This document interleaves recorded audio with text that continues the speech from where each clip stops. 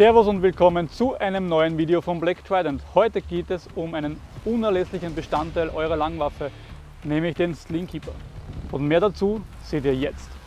Wie es der Name schon verrät, hält unser Black Trident Slingkeeper euren Gewehrriemen sicher und kompakt an eurer Waffe.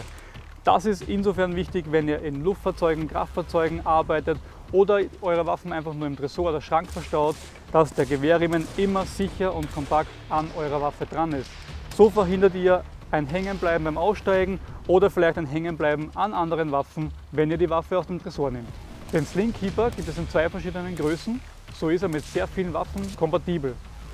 Je nach Waffentyp kann man den Sling Keeper am Vorderschaft oder am Hinterschaft befestigen. Natürlich muss man berücksichtigen, dass unsere Bedienelemente hier auch problemlos noch zu bedienen sind. Die Montage des Sling Keepers ist super einfach. In meinem Fall, ich bin Rechtsschütze, habe ich meinen Sling an der linken Seite der Waffe verstaut. Als Linksschütze wäre das genau umgekehrt und der Sling wäre an der rechten Seite der Waffe verstaut. Egal wie ich ihn montiere, hier einfach nur mit Klett durchfädeln. In meinem Fall ein riesen Vorteil, weil ich kann hier mit dem Sling Keeper mein Kabelmanagement ein bisschen sicherer an der Waffe verstauen. Und egal wie ich ihn montiere, unser Dreizack steht immer richtig.